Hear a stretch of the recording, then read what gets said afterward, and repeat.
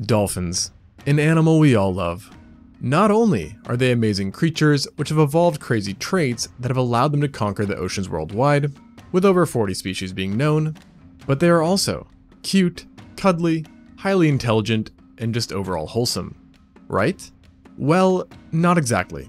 Because like many, dolphins do possess a darker side, and have been caught doing some rather questionable things. For example, they are known to practice infanticide, harass others of their own kind, eat pufferfish to get high, kidnap other dolphins, and even will seemingly kill for fun.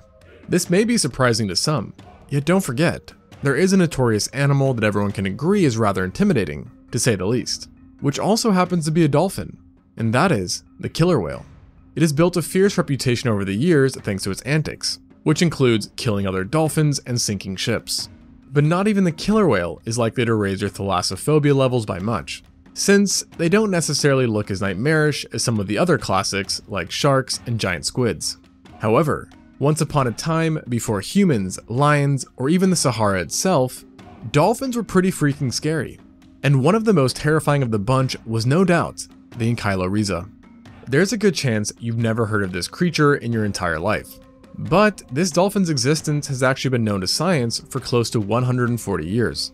Although, at the time of its discovery, nobody was aware of this prehistoric killing machine's true nature, as the holotype only consisted of a partial snout found within the state of South Carolina. So, not exactly much to go off of. And it didn't help that the man who found it and described it wasn't a paleontologist. Rather, a zoologist who couldn't make up his mind on what exactly this new animal was. So, he simply described it as a new species of Squalodon, an extinct genus of whale from the Oligocene and Miocene epochs, which was a wastebasket taxon back in those days, meaning it was used to classify newly discovered animals that people were unsure about. In the case of Ankylorhiza, this misclassification stuck for a painstakingly long amount of time, as it wasn't until 2020 that things changed when a nearly complete skeleton of a large-toothed whale was located in the exact same area where the first discovery had been made. This new specimen had a snout that perfectly matched the originals, yet the body definitely did not belong to a squalodon, leading researchers to realize that the zoologist all those years ago had in reality unknowingly discovered a brand new dolphin, which they quickly renamed to Ankylorhiza tiedemani. Even though it was now clear that Ankylorhiza had been misclassified, it actually hadn't been misjudged that badly, as it remained cetacean and more importantly, a member of the parvorder Odontoceti, aka the toothed whales, which includes oceanic dolphins, river dolphins, porpoises, sperm whales, and virtually any other whale with teeth. More detailed research into its morphology further found it to be a primitive member of this group, mainly due to its hands and fingers, which are located inside their pectoral fins, which were found to be proportionally longer than other species. This primitiveness was an important find as it made the Ankylorhiza something of a middle ground between the Basilosauridae and modern dolphins in terms of evolution. What really struck everyone though wasn't the forelimbs, but rather its exceptional size. In fact, adult Ankylorhiza were the largest toothed whales known from the entire Oligocene epoch, with adults measuring 4.8 meters or 16 feet in length similar to the measurement of a great white shark that's on the larger side. Keep holding your breath though, because Ankylorhiza likely got even bigger, seeing that paleontologists are only aware of a handful of adult specimens. Plus, dolphins and whales generally have quite a spectrum in size amongst individuals, with giant bottlenose dolphins, for example, sometimes being up to three times bigger than the average sized individual. Nonetheless, 16 feet or 4.8 meters is no laughing matter, especially when the animal in question also possesses one of the most freakish mouths ever seen in the animal kingdom. Ankylorhiza, as its name suggests, meaning fused roots, had extremely deep-seated teeth that were giant, sharp, conical, and coated in thick layers of cementum, rendering them perfect weapons for grabbing and piercing.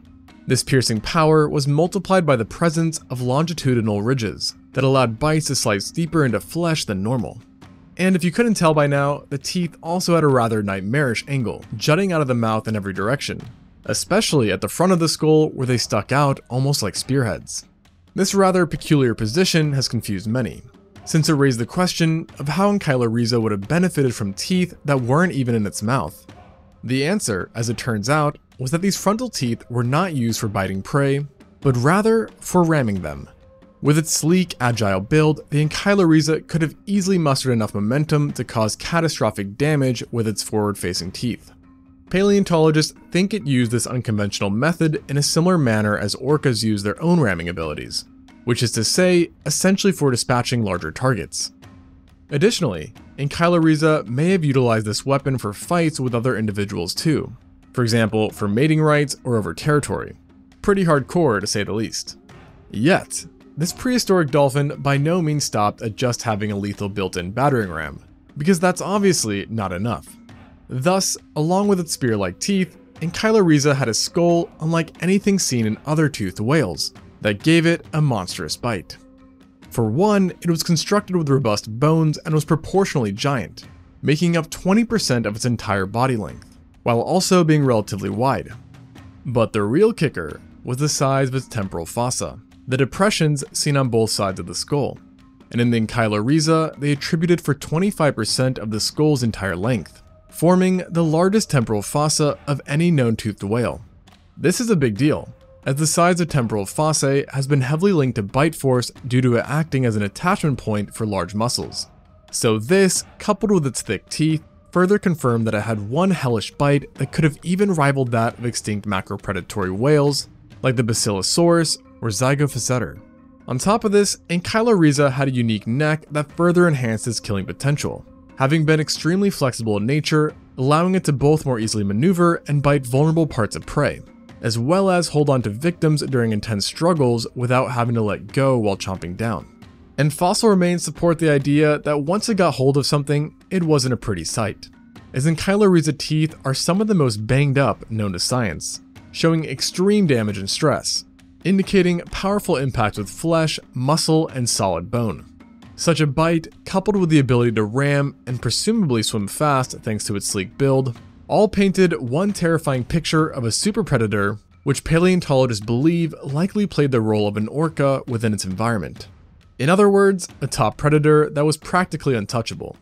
This would have also made it the first known large-toothed whale capable of attacking and eating large prey items, which would have come in the form of a mix of turtles, sharks, large fish, marine crocs, sirenians, rays, and potentially even other cetaceans. When hunting other cetaceans, it's believed to have used its ramming capabilities, but it also had numbers on its side. Because for the most part, all modern dolphins are highly social creatures that either live in pods or have fusion fission societies, which are small groups that constantly change as individuals come and go. So as a cohesive unit, Ankylorhiza would have especially been the sight to see and fear.